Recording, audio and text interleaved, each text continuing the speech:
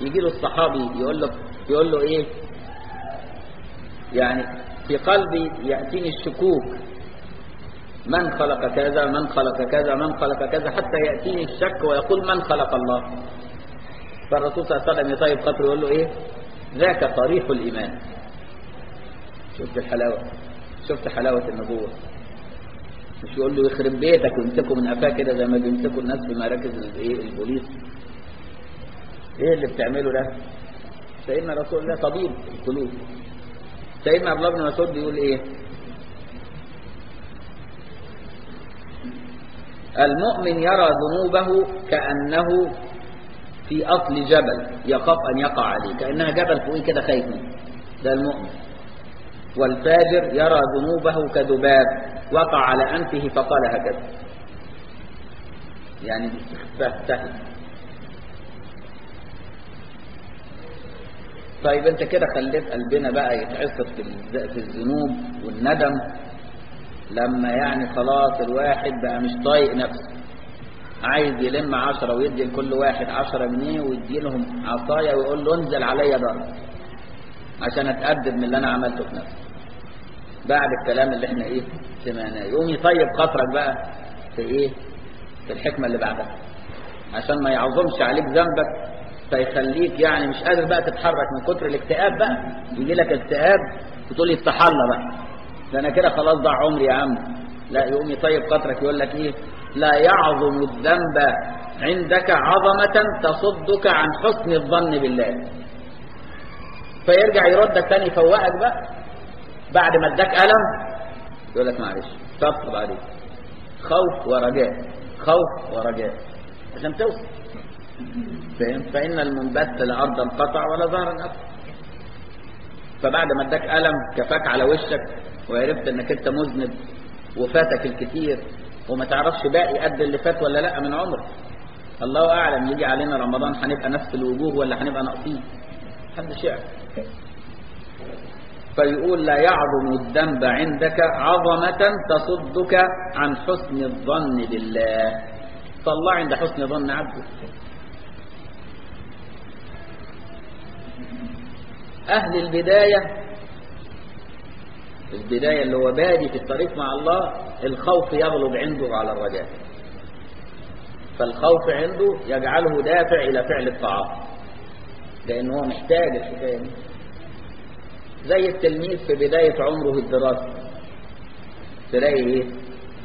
خايف من الامتحان فيذاكر كتير يذاكر كتير. أما يقدم ويبقى داخل على الدكتوراه بقى ويقدم بقى خلاص يبقى يمكن طبع عليه الامتحان وينام. أنا أيام الدكتوراه كنت أحلى نوم أنامها قبل الامتحانات. والله لكن مثلا وإحنا في ثانوية عامة كنا إيه؟ حريقة مذاكرة.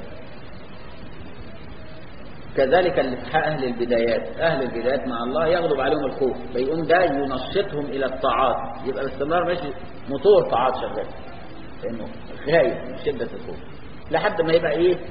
توسط في الطريق يقوم يبتدي يهدي بقى يقوم يجي الخوف والرجاء يبقوا قد بعض. بدأ يهدى بقى يلقط نفسه. يلقط نفسه في الطريق إلى الله. الأول كان مكروب شايف إنه فاته كتير وأثر كتير والعمر اللي جاي قليل فبيجري يلحق. وبعدين بعد ما يجري وربنا يثمر في قلبه بعد آثار الطاعات يبتدي يتوزن مع الخوف والرجاء يتوزنوا يبقوا مع بعض يبقى موجود. ثم إذا وصل فعرف الله غلب عليه الرجاء. فهمت؟ فيبقى البني آدم بيمر بإيه؟ بالمراحل دي كلها. وعلشان كده لما الإنسان عند موته لما ربنا يرزقه حسن الظن بالله يعني الرجاء يكون الله عند ظنه. ودي حسن الخواتيم. إنك أنت تموت وعندك حسن ظن بالله. يا سلام. إنما واحد على فراش موت كده وآيس من رحمة الله ربنا يلقي في قلبه حال الموت الخوف واليأس دي علامة سوء الخاتمة إنما لما يبقى في فراش الموت وربنا يلقي على قلبه الاطمئنان والراحة والشوق إلى لقائه دي علامات حسن الخاتمة فربنا يرزقنا حسن الخاتمة فلا يعظم الذنب عندك عظمة تصدك عن حسن الظن بالله. وديك انت عارف قصة الراجل اللي هو قتل 99 نفس وبعدين راح قالوا له لا مالكش توبة فراح كملهم مية وقتل الراجل اللي قال له مالكش توبة. لحد ما وصل لعالم من العلماء قال له لا ليك توبة بس تترك أرض السوء وشلة الأنس والجلجلة اللي كانت بتساعدك على البلاوي دي. تروح بلد تانية ما حدش يعرفك فيها وتقعد أنت معاهم وتعبد الله. فهاجر من هذه البلدة وهو في الطريق مات. فجت ملائكة الرحمة وملائكة العذاب مش عارفة هو إلى أيهم ده هو لسه ما وصلش الأرض الطاعة ومدي ظهره الأرض المعصية ومات في السجن. فتنازعته ملائكة الرحمة وملائكة العذاب. مين اللي ياخده؟ فاختصموا عند ربهم فقال الله قيسوا, ما قيسوا بينه وبين القريتين. ويأخذه ملائكة القرية اللي هو ليها أقرب. إن كان لقرية المعصية أقرب يقوم إيه؟ تاخده ملائكة العذاب. إذا كان لقرية الطاعة أقرب تاخده ملائكة الرحمة. فربنا سبحانه وتعالى لأنه قبل توبته ويحب توبة العبد المؤمن. شوف ربنا سبحانه وتعالى يقول إيه؟ الرسول صلى الله عليه وسلم جمال تعبير النبي. إن الله يفرح بعبده التائب فرح الظمآن الوارد والعقيم الوالد والضال الواجد. شفت جمال النبوة؟ لما يجي يعبر عن فرح الله بتوبة العبد. شوف انت لما تبقى ظمآن وميت من العطش لسانك ده خلاص هيخرج منه من شدة العطش. ويجي لك بقى كوباية المية تفرح قد إيه؟ إن الله يفرح بتوبة العبد فرح الظمآن الوارد اللي هيشرب والعقيم الوالد. واحد متجوز بقاله خمسين سنة وما بيخلفش. فجأة مراته حملت وجابت له ولد. إيه ده؟ إيه الفرح ده؟ الدنيا مش سيئة من الفرح. ربنا بقى أفرح بتوبة العبد من الجدع. والضال للواجد واحد تايه في صحراء مش لاقي حد ينقذه صح وماشي مش عارف اليمين من الشمال من الجنوب من مش عارف لو مشي كده هيوصل ولا هيزداد بعده ولو مشي كده يوصل ولا يزداد بعده. فضال. فسلم نفسه بقى للضياع. وفجأة يلاقي قافلة تنقذه وتعرفه الدليل شوف فرحه قد إيه؟ كأنك كتب له عمر جديد كذلك الله يفرح بتوبة العبد أشد من فرح هذا إن الله يفرح بتوبة العبد من فرح الظمآن الوارد والعقيم الوالد والضال الواجد. شفت جمال النبوة. فأنت إذا ندمت هي دي التوبة. والتوبة يقابلها فرح من الله. فلا فلا تعظم المعاصي عندك. عظمة تيأسك من رحمة الله. فهمت؟ ده مش كده وبس ده ربنا بيكرم الإنسان يقول له إيه؟ يبدل سيئتين حسنات. ده ممكن مع حسن التوبة ربنا يخلي المعاصي حسنات. يعني المعصية الكبيرة أما تتقلب تبقى حسنة كبيرة. والمعصية الصغيرة أما تتقلب تبقى حسنة صغيرة. شفت رحمة ربك؟ يقلب المعاصي إلى يبدل الله سيئاتهم حسنات. يبقى في نوع ربنا يكفر عنهم سيئاتهم. يكفرها يعني إيه؟ يغفرها لهم. وفي نوع تاني أما يكون توبته أقوى مش يكفر له سيئات لا ده يروح قلبها له حسنات ليه؟ اللي معاصيه كانت سببا في ذله وانكساره ودافعا إلى التوبة ودوام الطاعة تصير معاصيه هي عين الطاعة. فهم؟ فتتقلب حسنات فهم؟ واللي معاصيه أورثت في قلبه انكسار ولكن ليس انكسار كامل. وخضوع ولكن ليس خضوع كامل. ربنا برحمته يكفرها له بس لكن ما يخليهاش حسنات بس إيه؟ يغفرها فهو على قدر انكسارك وذلتك إلى الله وخوفك من الله تصير المعاصي حسنات أو تكفر السيئات. فهمت؟ شوف الإمام الشافعي مثلا وهو على فراش الموت قال كلام حلو. يقول إيه وهو على فراش موته الإمام الشافعي رحمه الله محمد بن إدريس الشافعي. رحمه الله ونفعنا الله به وبعلومه وجزاه الله عنا خير. فلما قسى قلبي وضاقت مذاهبي جعلت الرجا مني لعفوك سلما فعاظمني ذنبي فلما قرنته بعفوك ربي كان عفوك أعظم. فما زلت ذا جود وفضل ومنة تجود وتعفو منة وتكرما. بيكلم ربه وهو على فراش الموت فربنا اداله هنا حسن الظن بالله أهو فمات على خاتمة حلوة. الامام الشافعي اللي قضى عمره كله في أمور الشريعة ويعلم الناس. وصنف مصنفات لحد دلوقتي المسلمين بيفكوا في رموزها وبيستفيدوا منها. إلى يومنا هذا إلى أن تقوم الساعة. وأنت اللي ما عملتش حاجة؟ قاعد حاطط في بطنك بطيخه وسيخ حاجة غريبة.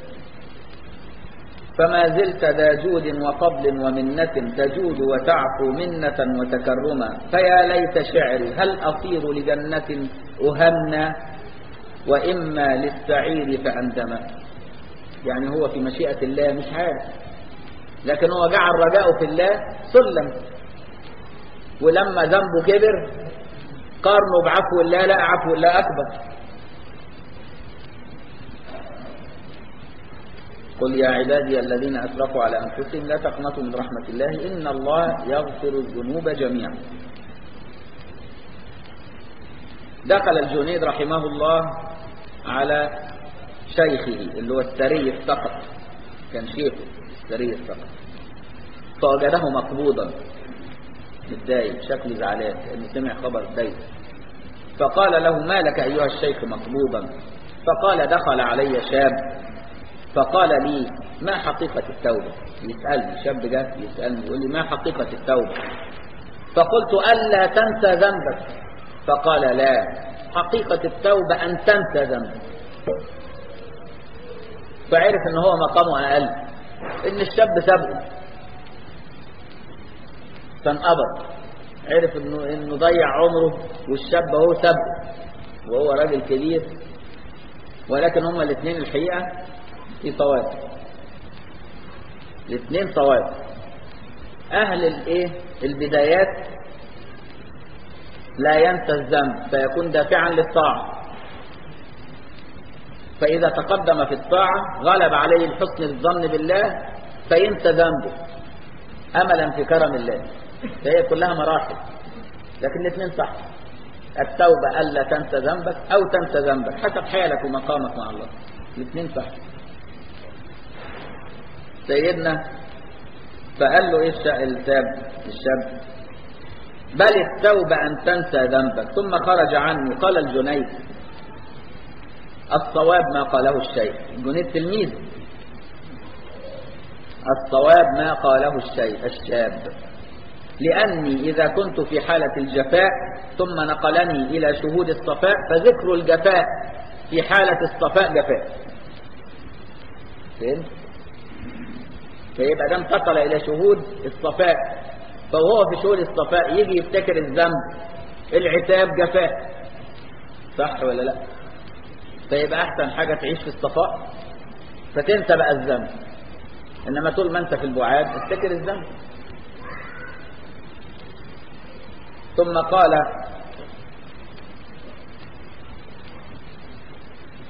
انت ليه بتستصغر ذنوبك. واخد بالك إزاي؟ لأن أنت ما تعرفش ربك. أو لأن ربنا كريم. فبيقول إيه؟ فإن من عرف ربه استصغر في جنب كرمه ذنبه فإن من عرف ربه استصغر في جنب كرمه ذنبه. يا أيها الإنسان ما غرك بربك الكريم؟ يوم الإنسان يجاوب يقول إيه كرمك يا رب هو اللي غرني؟ كرم. مش أنت كريم؟ أنا اتغريت بقى عشان أنت كريم بقى. فهمت؟ لأن لو بخيل هتطمع في البخيل. البخيل مأيح مش هيدي لنفسه حاجة طبعا إنه يديه. لكن الكريم هو اللي الناس تطمع فيه. صح؟ فمن في أكرم من الكريم سبحانه. فبيقول فإن من عرف ربه يعني بكرمه وعفوه استصغر في جنب كرمه ذنبه. نبئ عبادي أني أنا الغفور الرحيم وأن عذابي هو العذاب الأليم لمن تاب. يبقى نبئ عبادي أني أنا الغفور الرحيم لمن تاب. وأن عذابي هو العذاب الأليم لمن لم يتب. فهمت؟ يبقى إذا كنت أنت في حال التوبة؟ يبقى رب غفور رحيم.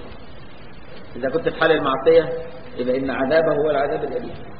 فتفهم واقع الآيات يختلف.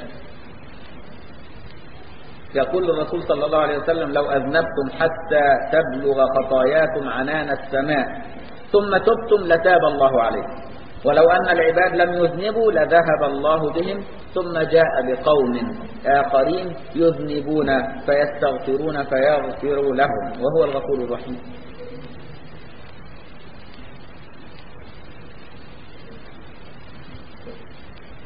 سيدنا أبو العباس المرسي اللي هو مسكون في الإسكندرية ليه مقام يزار في الإسكندرية معروف. تلميذ ووارث حال السيد أبو الحسن أبو الحسن الشاذلي. هو اسمه كده الشاذلي لأنه أنت الشاذلي جاءه هاتف وهو في في الخلوة أنت الشاذلي أي شذ عن الخلق إلى الحق. فصار شاذ لله. فسمي الشاذلي فهمت؟ ده نطق السليم يعني. أبو الحسن الشاذلي تلميذه بقى وارث حاله مين؟ سيدي المرسي أبو العباس. وتلميذ المرسي أبو العباس وارث حاله مين؟ ابن عطاء صاحب الحكم سلسلة واحدة. الشيخ المرسي أبو العباس كان ليه ورد كده أنا كنت قريته من سنين. كنت إيه؟ مستعجب له وأقول أنا شطحات المتصوفة أيامها قلت دي شطحات الناس المتصوفين دول لهم شطحات يا عم إحنا من؟ لكن مش معترض. أنا قلت دي شطحات بيبقى لهم أحوال. فلما تيجي تقراه لكن الواحد فهمه بعد كده. لما لما قدم شوية وفهم يعني حقيقة الأمور ما خدش الأمور كده بعجل لقاها إنه واضح قوي فيقول لك إيه بقى؟ بيقول في الورد بتاعه في حزبه ليه حزب هو حزب مجموعة أدعية كده. إلهي معصيتك نادتني بالطاعة وطاعتك نادتني بالمعصية. ففي أيهما أخاف؟ وفي أيهما أرجو؟ إن قلت بالمعصية قابلتني بفضلك فلم تدع لي خوفا. وإن قلت بالطاعة قابلتني بعدلك فلم تدع لي رجاء. فليت شعري كيف أرى إحساني مع إحسانك؟ أم كيف أجهل فضلك مع عصيانك شفت الكلام الجميل. إلهي معصيتك نادتني بالطاعة لأن المعصية توجب التوبة. فلما تعمل المعصية تطلب منك التوبة. يبقى المعصية بتطلب الطاعة. وطاعتك نادتني بالمعصية. ولما جيت فعلت الطاعة أعجبت بنفسي. إيه الحلاوة دي؟ فعصيت فوزت الطاعة. فهمت؟ وطاعتك نادتني بالمعصية حيث أني رأيت نفسي طائعا ولم أرى فضل الله علي. فهمت؟ وطاعتك نادتني بالمعصية. ففي أيهما أخاف وفي أيهما أرجو. ما أنا محتار. أنا وأنا في المعصية بخايف ولا أرجو. وأنا في الطاعة بخاف ولا أرجو. أنا حيران. فهمت؟ إن قلت بالمعصية يعني في المعصية قابلتني بفضلك فلم تدع لي خوفا يعني قلت, إن قلت أنا هخاف في المعصية. أفتكر فضلك. قل يا عبادي الذين أسرفوا على أنفسهم لا تقنطوا من رحمة. إن الله يغفر الذنوب جميعا. قابلتني بفضلك. فلم تدع لي خوفا. وإن قلت بالطاعة قابلتني بعدلك. والله خلقكم وما تعملون وما توفيقي إلا بالله. فالله هو الذي وفقك للعمل. أنت لم تفعل شيء الفاعل هو الله. ولو هيبتدي حسبك بقى بالظبط ويديك أجر بالعدل. مش هيديك حاجة. لأن ده هو اللي وفقك وهو اللي خلق وهو اللي إداك وهو اللي أمدك. أنت بدون الحاجات دي أنت ما عملتش حاجة. فلو هيحاسبك بالعدل مش هيديك حاجة. أنا اديتك ألف جنيه من معايا وقلت لك الألف جنيه دي روح اشتري لي بيها البضاعة الفلانية. جبت البضاعة الفلانية بالألف جنيه. يبقى أنت عملت إيه؟ دفعت حاجة من جيبك؟ مالكش حاجة. هنقعد نتحاسب نتحاسب من حاجة نتحاسب على إيه؟ هو أنت دفعت حاجة عشان أديك؟ ما أنت ما دفعتش حاجة يا ابني. أنا اديتك الألف وجبت لي الحاجة دي من على الربط بالألف. حطيتها وجبتها واديتها لي تقول لي حاسبني بقى اديني أجري. أجرك إيه يا ابني؟ وأنت دفعت حاجة عشان تحاسب. كذلك مع الله. كل الطاعات من الله. القوة كلها من الله. لا حول ولا قوة إلا بالله. وإن قلت بالطاعة قابلتني بعدلك فلم تدع لي رجاء. فليت شعري كيف أرى إحساني مع إحسانك؟ أم كيف أجهل فضلك مع عصيانك؟ يعني جناحين خوف ورجاء جناحين الخوف والرجاء متوازنين بيرفرفوا كده يقوم يوصل. إنما لو رفرف بجناح واحد يقع فلازم جناح الخوف والرجاء.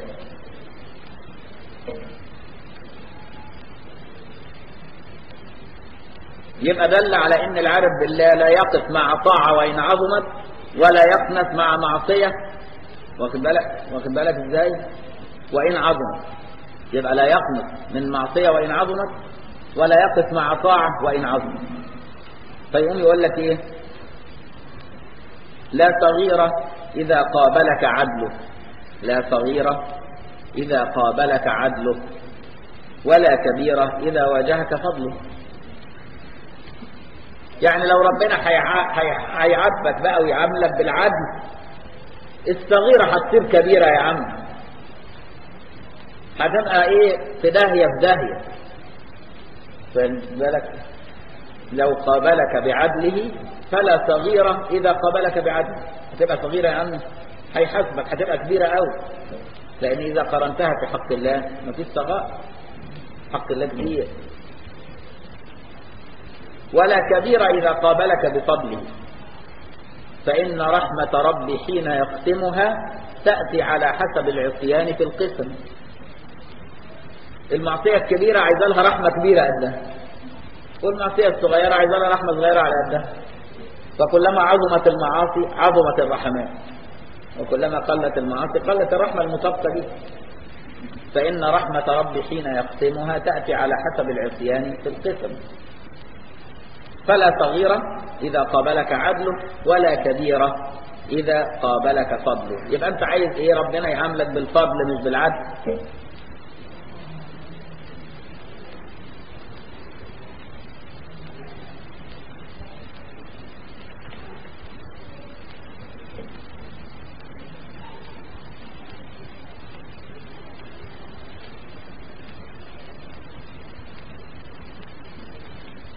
يبقى الأعراض السابقة دي كلها أعراض موت القلب. ثم بعد ذلك يتكلم على إذا عرفت أنت أعراض موت القلب وكيف أنك تحييه بالذكر وبالرجاء والخوف وبدوام الأمل في الله مع دوام البعد عن عن معصية الله يبقى أنت كده إيه؟ قلبك بقى حي. وتبدأ التجليات الإلهية والتعرفات الإلهية تبدأ ترد على القلب اللي هو بقى حي بقى. هو الحي هو اللي يدرك. إنما طول ما القلب ميت لا يدرك. يعني البني آدم اللي ميت في الحس ده ما يعرفش الدنيا منورة ولا مظلمة ولا ولا أنت بتقرصه ولا ما بتقرصوش. مش جارين جثة لكن القلب أول ما يبقى حي يبتدي بقى يبقى أهل للتجليات الإلهية. فيدرك. فيبتدي بقى إيه؟ يتكلم على إيه؟ على الواردات الإلهية التي تأتي على القلب إن شاء الله غدا وهيبقى آخر درس بقى إن شاء الله غدا بإذن الله. وكل عام وأنتم بخير. ونبقى كده تقريبا خلصنا خمس الحكم خمس الحكم في الشهر. إن شاء الله تخلص في خمس رمضانات. إن شاء الله سبحانك اللهم ها؟